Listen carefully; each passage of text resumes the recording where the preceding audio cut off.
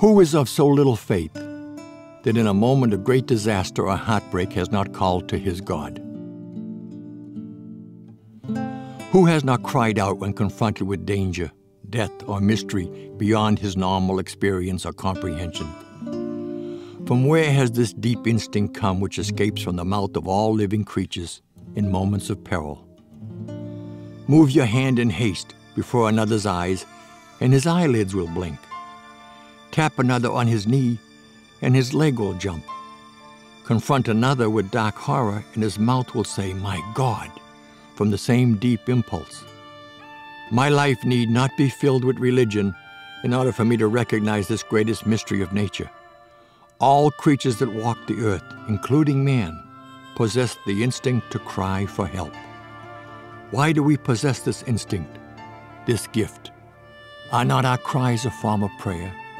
Is it not incomprehensible in a world governed by nature's laws to give a lamb, or a mule, or a bird, or a man the instinct to cry out for help, lest some great mind has also provided that the cry should be heard by some superior power having the ability to hear and to answer our cry?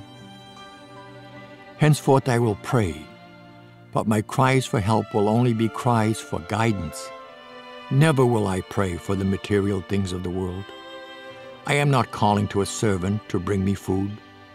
I am not ordering an innkeeper to provide me with room. Never will I seek delivery of gold, love, good health, petty victories, fame, success, or happiness. Only for guidance will I pray, that I may be shown the way to acquire these things and my prayer will always be answered. The guidance I seek may come, or the guidance I seek may not come. But are not both of these an answer? If a child seeks bread from his father, and it is not forthcoming, has not the father answered?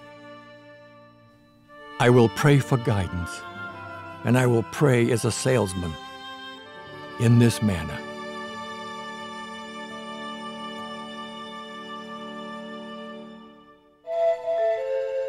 O Creator of all things, help me.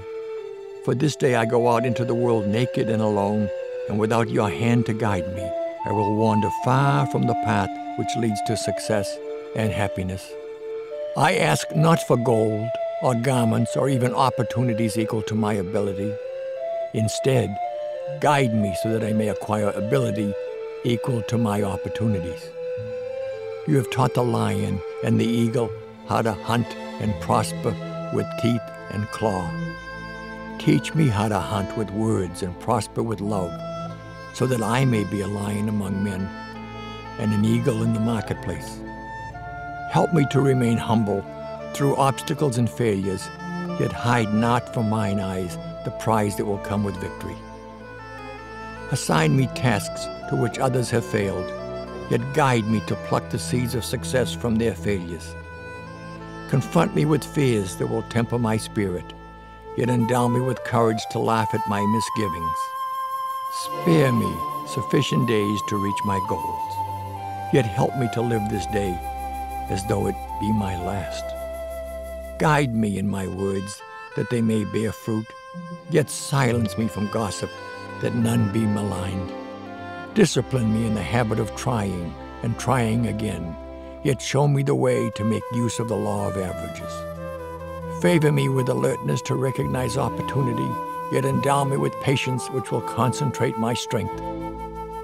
Bathe me in good habits, that the bad ones may drown, yet grant me compassion for weaknesses in others. Suffer me to know that all things shall pass, yet help me to count my blessings of today. Expose me to hate, so it not be a stranger, yet fill my cup with love to turn strangers into friends. But all these things be only if thy will.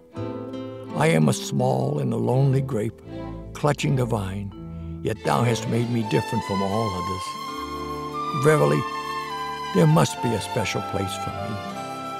Guide me, help me, show me the way. Let me become all you planned for me when my seed was planted and selected by you to sprout in the vineyard of the world. Help this humble salesman. Guide me, God.